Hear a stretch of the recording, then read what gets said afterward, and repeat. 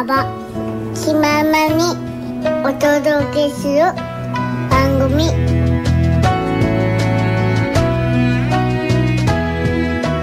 柳原バーが気ままにお届けする番組は株式会社 JC ツールとブルーマリン石垣の提供でお送りします。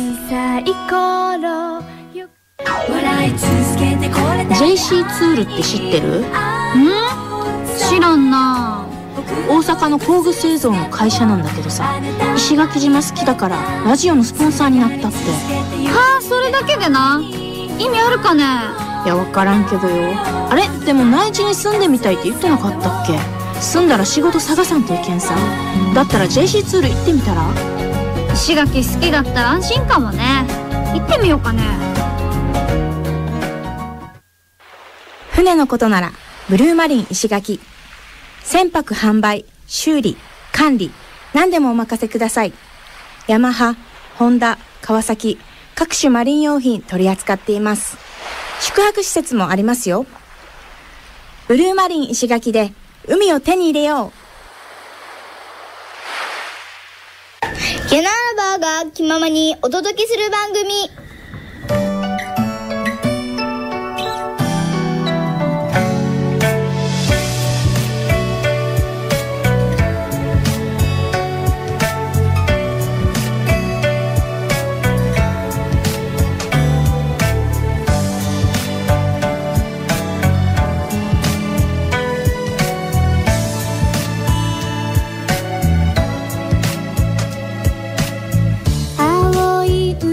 ラバーが気ままにお届けする番組12月29日収録放送でお届けしております。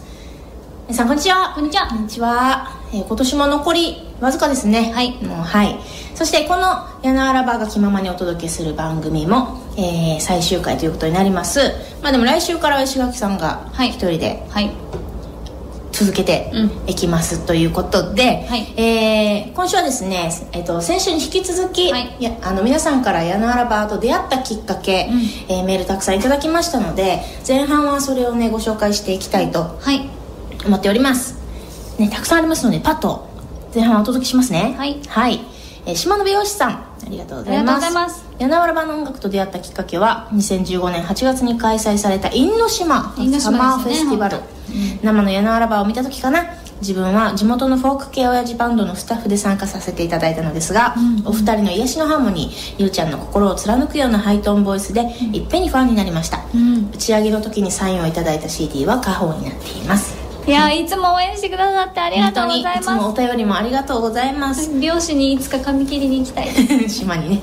はい、みーさんからありがとうございます、はありがとうござい。ます矢野原版の音楽と出会ったのは「ぽかぽか地球家族」のはいエンディング曲、はい。お聴き一発で感動し誰が歌っているのかを調べたら矢野原バーでした、うん。その時から矢野原バーの虜になり大阪から解散ライブも行きましたわあありがとうございますぽかぽか地球家族から出会った方も結構多いですよね、はい、空を越えて海を越えてが流れていましたね、こう番組の内容と柳原版のキャラクターが合ってるよねそうなんだよねこういうなんかね、ありがたいよねこういう番組の主題歌を歌わせていただいてなんか幅広い年齢層の方がその番組見てくださっていたのでね、はいありがとうございありがとうございますそしてまいちゃさんありがとうございます柳原版の音楽と出会わせてくれたのはいい表現、うん。クレヨンしんちゃんです。クレヨンしんちゃんね。はいはいはい。はい、アリの歌を聞いて、その頃はまだ誰が歌っているか知らなかったんだけど、うん。心惹かれていましたそんなある日、うん。母と二人でショッピングに出かけていたのですが、うん。イベントステージに「クレヨンしんちゃんの歌歌ってる人が来る」うん。と書いてあったのです。あならそっかそっか。そこで初めてお二人に出会いファンになりました。あそうなんだ。その日その場所にたまたまいて本当に良かったです。あと「クレヨンしんちゃん」見ていて良かったです。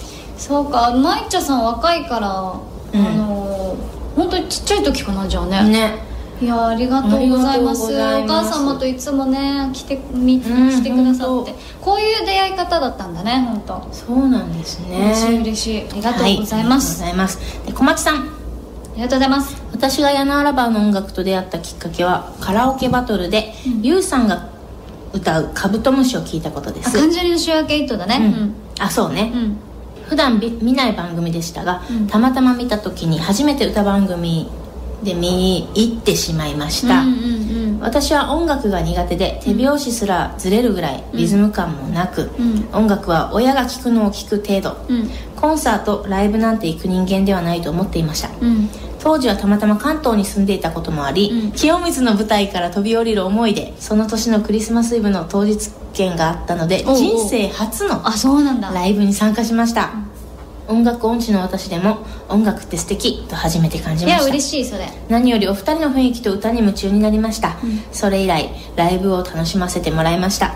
今後はゆうさんのライブを楽しみに頑張りたいと思いますので落ち着いたらライブしてください。したい。かっこ関西で。そして解散20周年で再結成？なると期待しています、解散20周年。20年後ってこと？私えっとご50あ60か。いやありがとうございます。この番組で出会った方もすごく多かった、うん。だから本当にこの番組はちょっと本当大変だったけど本当に大変だったけど出てよかったんだってすごく思う見ているだけでも緊張したから。あー死にそうだった。本当大変だった。でもいいいよ。いい本当チャレンジできてよかった。うん、もうでもこんな前なんですね。ね。本当に。ね。はい。そしてありがとうございます。ありがとうございます。コウスケさん。はい。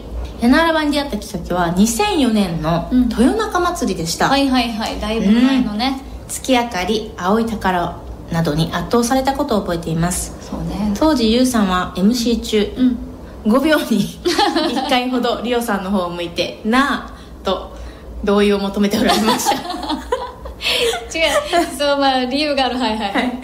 ライブ後会場の隅にうん。隅の暗がりでお二人がちょこんと座って、うん。前に CD を並べて売っていたのが思い出されます。はいはいはい。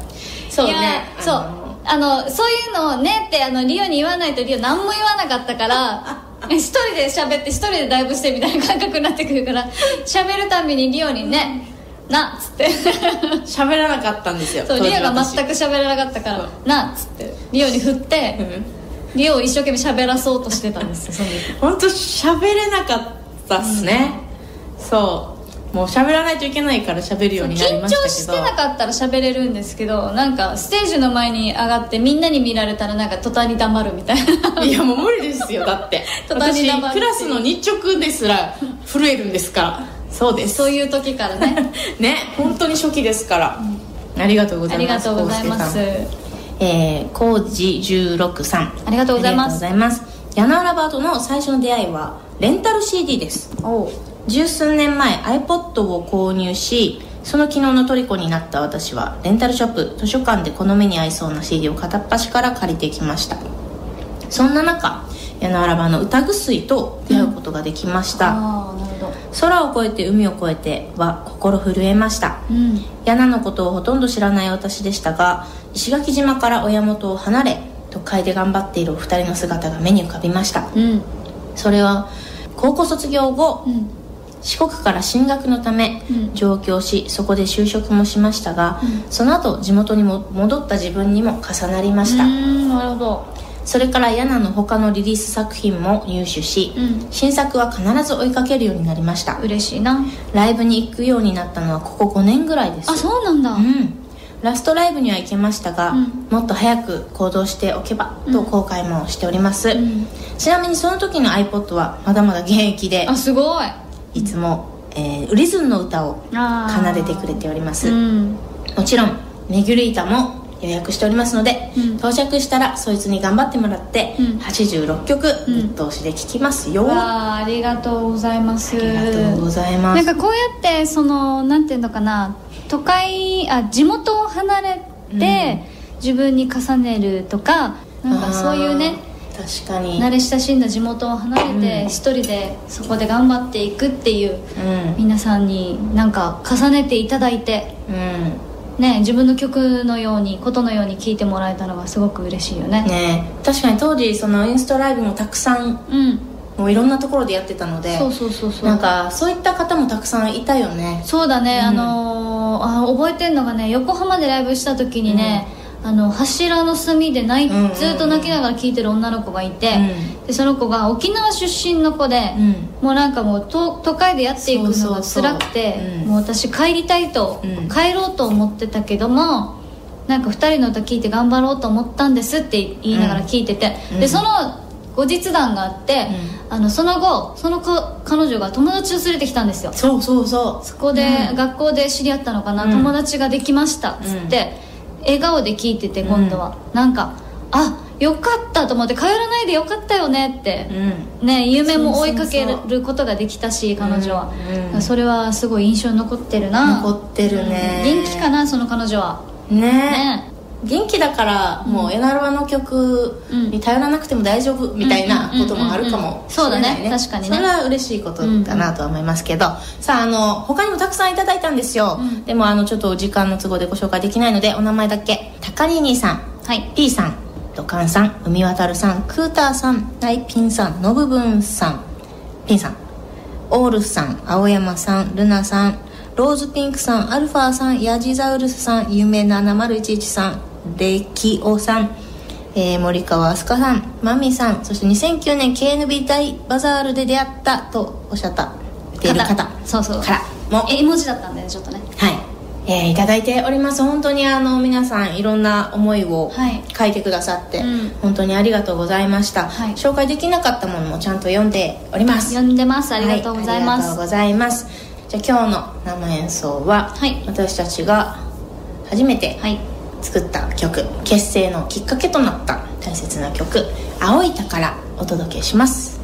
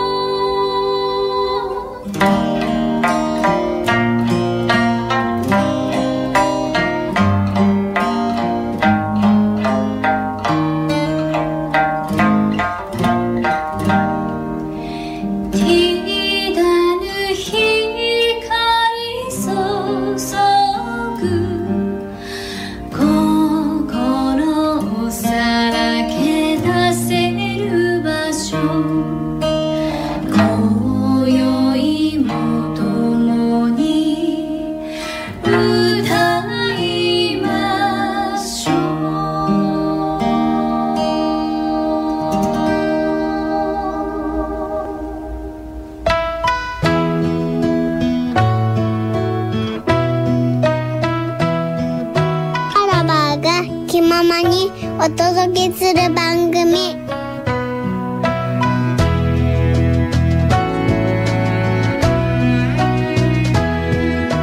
柳原バーが気ままにお届けする番組は株式会社 JC ツールとブルーマリン石垣の提供でお送りしています。JC ツールって知ってる？知らんな大阪の工具製造の会社なんだけどさ石垣島好きだからラジオのスポンサーになったって。はあそれだけでな？意味あるかね？いや分からんけどよ。あれ？でも内地に住んでみたいって言ってなかったっけ？住んだら仕事探さんといけんさ。だったら JC ツール行ってみたら？石垣好きだったら安心かもね。行ってみようかね。船のことならブルーマリン石垣。船舶販売修理管理何でもお任せください。ヤマハホンダ川崎各種マリン用品取り扱っています。宿泊施設もありますよ。ブルーマリン石垣で海を手に入れよう。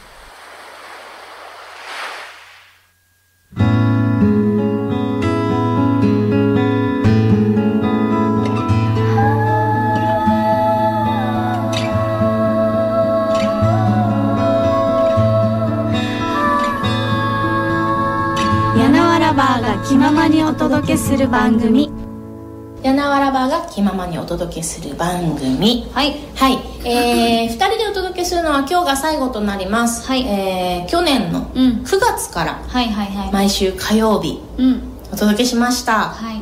え早早くない？早かっ一まそうだね。ね。1年は一応経ってるんだよね。年そうですね、あの解散が決まってから、うん。このラジオをやることになりまして初の石垣島でのレギュラー番組もっと早くね。本当ね まあまあでも、うん。できてよかったですよね。できてよかった。うん。なんかまあそのコロナでこう、うん皆さんと会えない期間っていうこともあったので、毎週火曜にこうして、あのまあ、皆さんの思ってることとか、うん。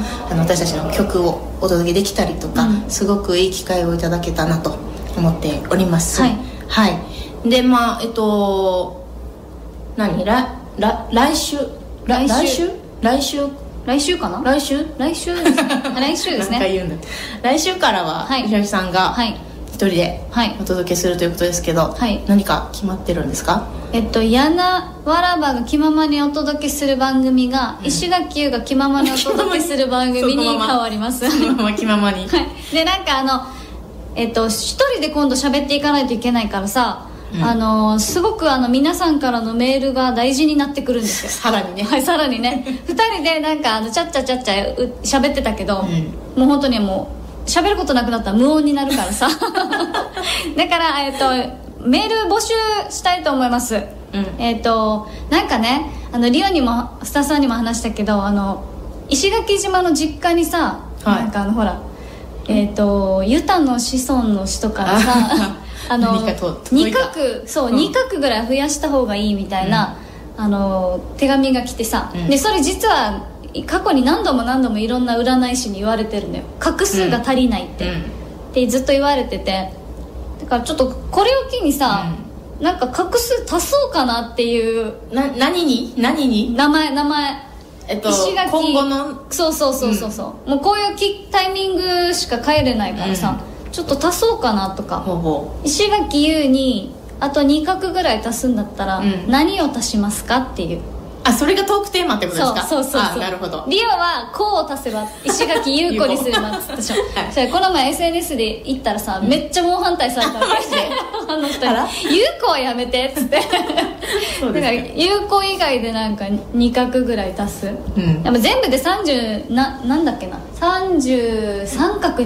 だから石垣 U, U を2つに分けて33画にすするのもいいし、う石垣 U に2画足してなんか33画にするのもいいし。記号とかもあるよ。そうそうそうじゃあじゃあみ未来いろいろ考えようがありますねそうそうそう。だから皆さんぜひそれと あとなんか私にあの歌ってほしいカバー曲とか、うん。皆さんの大切なカバー曲とかでもいいあの曲でもいいから歌ってほしいカバー曲っていうものをうんお願いします。歌ってほしい曲と、い。あとは石垣優に2画足すなら何を足す、うん。まあ、33画にすればいいから。うん。それをちょっと皆さんの案を教えてください。お願いします。アドレス紹介しておいたら？はい。初めて言うな。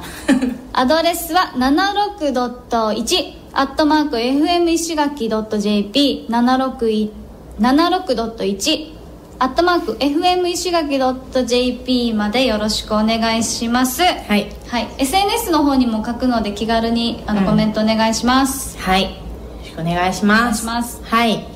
じゃあですねあの本当に、えー、1年と3ヶ月。はいはいはい。ですね、あのこの毎週回をだらだらだらだらだらって、はい。本当に気ままに気まますぎたかなっていうぐらい気ままに、えーお届けしてきましたけどまあまあ全国からね、うん。いろんなお便りもありましたし多分石垣の方もきっとそうそうそうなんかねあのいるでしょう。そう石垣の人はさ、うん。あのほら、えー、と金山商店のニーニーたちが言ってたけど、うん。あの金山商店の方にもメールは来ないと でも生放送やったらうんうん。メール来るよ島の人からって、まあでも分かる気がする。うん。うん、だから、ね。多分あの、まあ、島の人のなんか感覚、うん。その収録放送でさ、なんかあのあいいよ別にって思ってしまう、うん。あの感覚も、うん。あの私たち島の人なので分かるから、うん。多分聞いてくれてるのは聞いてくれてるうん。はず、そうね、うん。そう信じてる。生放送やれば来てたかもしれないね。そっかそっかそっか。やればいいさじゃやってみようか。そんなもん。全然来なかっあ切ない。切ない。た来ないだろうって。来ないだろちょっとまあ痛いこと火曜日の昼だからな。そうね。金山商店夜だから。だる本当だ。メールしやすいっちゃしやすいんだな。確かにそれはある、そっかそっか。まあまあまあ。まあ、いずれやってみるよ。あのちゃんと家族にもメールするように頼んで。家族がいっぱい家親族がい戚がいっぱい。どうにか時間をつないで。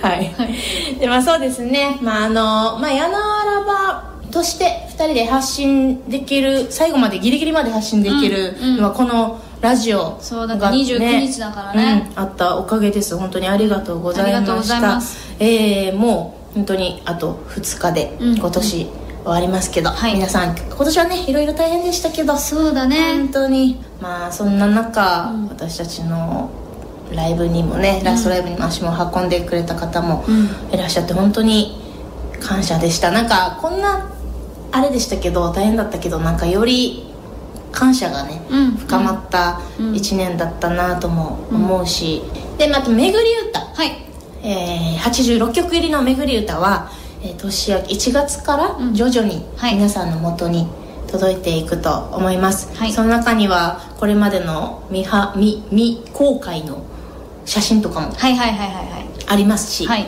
過去のね、はい。なのでなんかこう、まあ、か年内で私たちは解散するけど、うん。なんかこうまたまだ柳原場とそうそうそう。ねなんかつながっていける、新曲も入ってますからね,、そうですね。ね。またねというあの SNS にも歌詞も出しましたよね。うん。そうだ本当にこのアルバムでしかうん。聴けない聞けないから。新曲となっていますので、はい。そういった意味では、うん。なんか来年もよろしくお願いしますというそうだね。感じでもあります。はい。はい。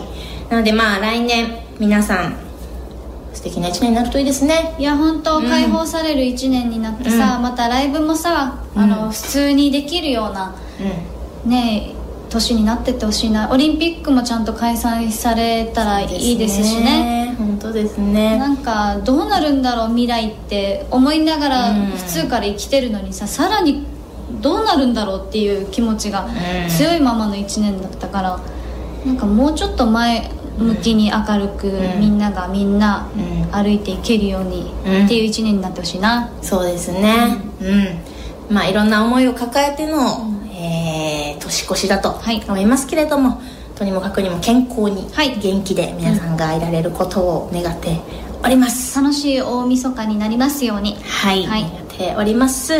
それではあの本当に「サンサンラジオ」の皆様も、うん。そして聞いてくださった皆様も、はい。本当に本当にありがとうございました。ありがとうございました。では来週からははい。石垣優の気ままにお届けする番組を。ほ本当にあのメールマジでお願いします。本当それこそお願いします本当にはい。えー皆さんぜひよろしくお願いします,、はいということで、はい。えーじゃあ最後にはい。お届けする曲ははい「背景まるさんでよかったかな。そうです。はい。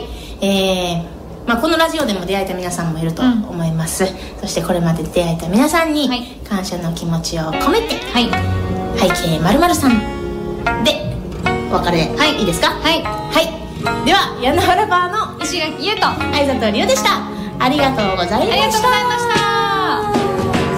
辛い時を過ごしたからこそあなたの優しさに気づくよ。いつだ